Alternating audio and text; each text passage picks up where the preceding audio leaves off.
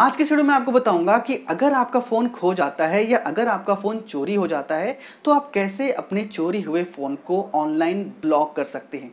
आज की ये वीडियो बहुत ही खास होने वाली है, इसलिए इस वीडियो को ध्यान से पूरा ज़रूर देखें, क्योंकि इस तरह की घटना किसी के साथ भी कभी भी हो सकता है। आपको ये इन्फॉर्मेशन पता होनी चाहिए कि आप अपने मोबाइल को, आप अपने चोरी हुए मोबाइल को कैसे ऑनलाइन ब्लॉक करवा सकते हैं।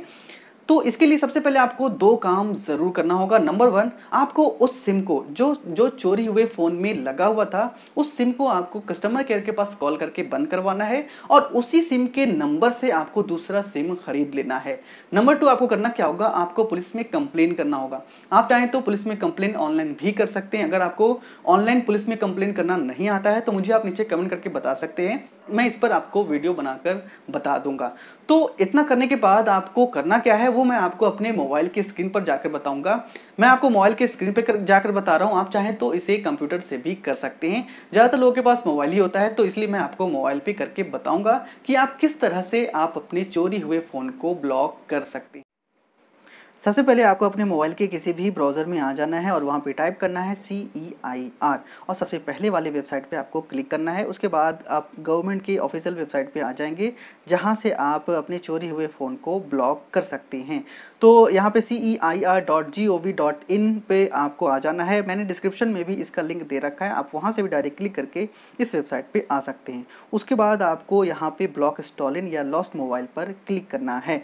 उसके बाद यहाँ पर आपको कुछ बेसिक इन्फॉर्मेशन देनी होगी ताकि आपका चोरी हुआ फ़ोन ब्लॉक हो सके। तो सबसे पहले आपको यहाँ पे मोबाइल नंबर देना है, जो आपके चोरी हुए फ़ोन में लगा हुआ था। तो यहाँ पे मोबाइल नंबर देना है। अगर आपके उस मोबाइल में दो सिम थे तो यहाँ पे आपको दूसरे सिम का भी नंबर दे देना है, ठीक है? उसके बाद यहाँ पे आपको I M E I number देना है। अगर आपको आपके उस फ़ोन का आई आई नंबर याद नहीं है तो जब आपने आपने उस फ़ोन को ख़रीदा होगा तो आपको इन्वॉइस मिली होगी, कोई रसीद मिला होगा तो उस रसीद में भी आपको I M E I number मिल जाएगा, या आपको, आपके उस फ़ोन के डब्बे में भी लिखा हुआ मिल जाएगा। ठीक है तो यहाँ पे आपको I M I number enter करने के बाद आपको यहाँ पे ये सेलेक्ट करना है कि आपका वो फ़ोन कौन से ब्रांड का था। सपोज़ मैं यहाँ पे सेलेक्ट कर लेता हूँ कि वो फ़ोन सैमसंग का था तो यहाँ पे आपको सैमसंग सर्च कर लेना है। तो मैंने यहाँ पे सैमसंग सर्च कर लिया है सेलेक्ट कर लिया है, उसके बाद यहाँ पे आपको मॉडल नंबर देना है। वो मॉडल सपोज़ मान लेते हैं कि वो गैलेक्सी था, ठीक है गैलेक्सी एस फोर उसके बाद यहाँ पर आपको उसके बाद यहाँ पर आपको अपने उस इन्वॉइस को अपलोड भी करना होगा जब आपने फ़ोन को ख़रीदा था। तो जो रसीद आपको मिली थी उस रसीद को यहाँ पर आपको अपलोड करना है। उसके बाद यहाँ पे कुछ और इन्फॉर्मेशन आपको देनी है। आपका फ़ोन कहाँ पे चोरी हुआ था किस जगह पे चोरी हुआ था उसे आपको यहाँ पर लिख देना है। किस टाइम हुआ था किस डेट में हुआ था ये आपको यहाँ से सेलेक्ट कर लेना है यहाँ से आपको लिख लेना है। उसके बाद यहाँ पर आपको आप, आपके खुद का स्टेट यहाँ पर सेलेक्ट करना है। मैं आपको बता दूँ अभी ये सर्विस सिर्फ़ दिल्ली और महाराष्ट्र में है, लेकिन आने वाले कुछ ही समय के बाद ये सर्विस पूरे इंडिया में अवेलेबल हो जाएगी। ठीक है तो अभी यहाँ पे मैं यहाँ पे दिल्ली सेलेक्ट कर लेता हूँ।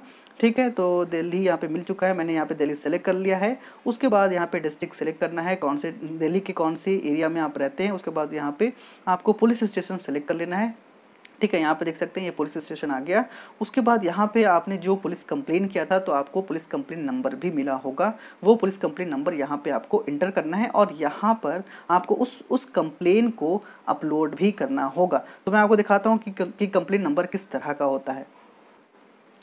तो आप देख सकते हैं कि ये एक कंप्लेन फॉर्म है, जो कि कंप्लेन किया गया है मोबाइल चोरी के लिए। तो यहाँ पे आपको जो कंप्लेन नंबर इंटर करना है, वो इसे आपको इंटर करना है, ठीक है? तो इस कंप्लेन नंबर को आपको उस फॉर्म में इंटर करना होगा।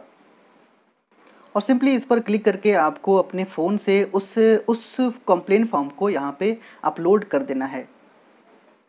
तो जैसा कि आप देख सकते हैं तो मैं, मैंने यहाँ पे कंप्लेंट फॉर्म अपलोड कर दिया है उसके बाद अगर आप चाहें तो यहाँ पे और भी कंप्लेंट को ऐड कर सकते हैं इस ग्रीन वाले बटन पे आप क्लिक करके उसके बाद मैं नीचे यहाँ पे चला जाता हूँ यहाँ पे कुछ और चीज़ें पूछी जा रही है यहाँ पे आपको ऑनर का नेम देना है जो भी उस फ़ोन का ऑनर था उसका यहाँ पे नाम देना है उसके बाद यहाँ पे एड्रेस देना है और यहाँ पे कौन सा आइडेंटिटी कार्ड आप लगाना चाहते हैं यहाँ पे आपको आधार आई डी यहाँ या कोई भी आप चाहें तो PAN card voter I D driving licence बहुत सारे यहाँ पे ऑप्शन आपको मिल जाते हैं यहाँ पे सेलेक्ट करने के बाद आपको उस आई उस आईडी को यहाँ पे अपलोड भी करना होगा। सेलेक्ट करके यहाँ से आप उस आईडी को अपलोड भी कर देंगे। उसके बाद यहाँ पे आपको उस आईडी का नंबर देना है। सपोज़ मैंने यहाँ पे आधार सेलेक्ट किया है तो यहाँ पे आधार नंबर दिया जाएगा। उसके बाद यहाँ पे आपको खुद का ईमेल आईडी देना है और यहाँ पे आपको वही नंबर देना है जो आपने ऊपर दिया था, जो आपने सबसे ऊपर मोबाइल नंबर दी थी, वही यहाँ पे आपको नंबर देना है। ठीक है, मैं दिखा देता हूँ आपको। कि आपने जो यहाँ पर इंटर किया था सबसे पहले में, यही नंबर आपको नीचे इंटर करना है, ठीक है? नंबर को इंटर करने के बाद आपके मोबाइल पे, आपके उस नंबर पे एक ओटीपी जाएगा ओटीपी को यहाँ पे वेरीफाई करना है, उसके बाद आपको सिंपली इस पर क्लिक करना है। इसे इसे चेक करने के बाद आपको यहाँ पे सबमिट पे क्लिक कर देना है। सबमिट पे क्लिक करने के बाद आपके उस नंबर पे आपको एक रिक्वेस्ट आईडी मिल जाएगी और यहाँ पर भी आपको एक रिक्वेस्ट आईडी मिल जाएगी। उस रिक्वेस्ट आईडी को आपको रख लेना है और उस रिक्वेस्ट आईडी से आप ये पता कर सकते हैं कि आपका फ़ोन अभी ब्लॉक हुआ है या नहीं। आ, ये पता करने के लिए कि आपका फ़ोन अभी ब्लॉक हुआ है या नहीं सिंपली आपको यहाँ पर क्लिक करना होगा इस चेक रिक्वेस्ट स्टेटस पे। इस रिक्वेस्ट स्टेटस पे आपको क्लिक करने के बाद यहाँ पर रिक्वेस्ट आईडी देना है जो आपको रिक्वेस्ट आईडी उस वक्त मिली थी।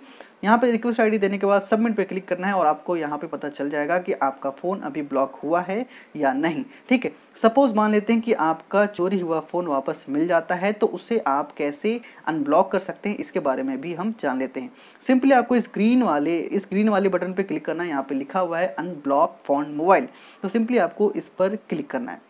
क्लिक करने के बाद यहाँ पर आपको रिक्वेस्ट आईडी पूछी जाएगी। जो रिक्वेस्ट आईडी आपको मिली थी, उसे आपको सेव करके अच्छे से रख लेना है।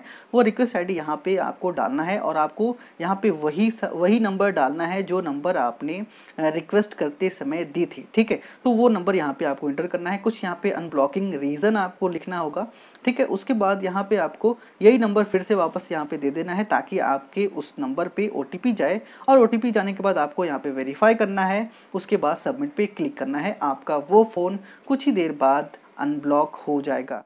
आई होप कि आपको समझ में आ गया होगा कि कैसे आप अपने चोरी हुए फ़ोन को ऑनलाइन ब्लॉक कर सकते हैं और अगर आपको चोरी हुआ फ़ोन वापस मिल जाता है तो उसे आप कैसे ऑनलाइन अनब्लॉक कर सकते हैं। ये वीडियो आपको ज़रूर पसंद आई होगी। वीडियो के नीचे एक लाइक बटन होगा, इस वीडियो को लाइक ज़रूर करें। इसे अपने दोस्तों के साथ ज़्यादा से ज़्यादा शेयर करें। इस इन्फॉर्मेशन को ज़्यादा से ज़्यादा लोगों तक पहुँचाएँ। अगर आपके मन में किसी भी तरह का क्वेश्चन हो तो मुझे आप नीचे कमेंट करके पूछ सकते हैं। और इसी तरह के हमारे खास वीडियो को सबसे पहले देखने के लिए टेक जैफ चैनल को सब्सक्राइब करके बगल में घंटी के बटन को क्लिक करके ऑल पर ज़रूर क्लिक कर दे। तो मिलता हूँ आपसे अगले वीडियो में, तब तक के लिए बाय टेक केयर एंड